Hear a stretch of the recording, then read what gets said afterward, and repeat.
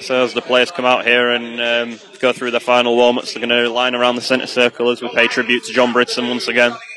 Great volunteer who's been dearly missed. Number two, Aidan Walker. Number three, Reese Kendall. Number four, Lee Whelan. Feel free to let us know that you're here in the Mixlr chat room. Just seen a message from CDP50. Good strike. Good to see a striker coming in. We look short up front pre-season and in the two league games. Number eight, Ollie Brown. Number nine, Tom Denton. Number ten and captain is Liam Tong. Number eleven, Joe Stacey. Number 12 on the bench this afternoon, number 12, Josh Ashman. 14, Gabriel Johnson. 15, Baby Conway. 16, Tom Pratt. 17. Liam Tong and the captain for Basford, Matthew Thornell, just going through the uh, regular coin toss before the tribute. Over the summer, Guiseley was everyone at Guiseley was shocked and saddened to hear of the passing of long-time volunteer and club legend John Bridson. Now, originally, he was an Evertonian, but he followed the Lions for over 30 years, travelled with the supporters club up and down the country, and for the last few and for the last decade, volunteered as a steward, becoming one of the first faces people saw as they entered Nethermoor. Originally from Liverpool, he was a proud Evertonian for all of his life. He was even a steward for several years at Goodison Park.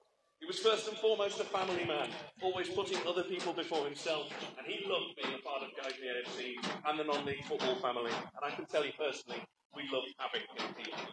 In tribute, we now invite you to stand if you can and join us in a minute's applause in memory of a much loved departed friend.